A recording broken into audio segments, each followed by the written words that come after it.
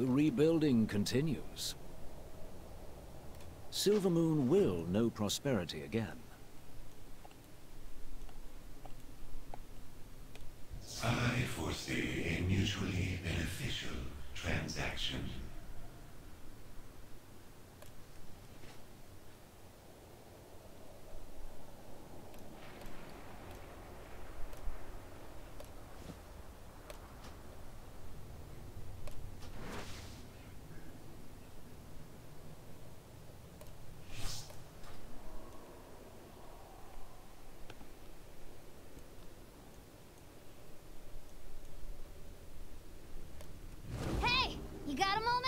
I could use some help.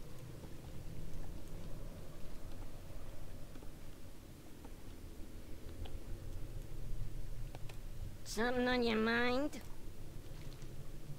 Try not to be too reckless.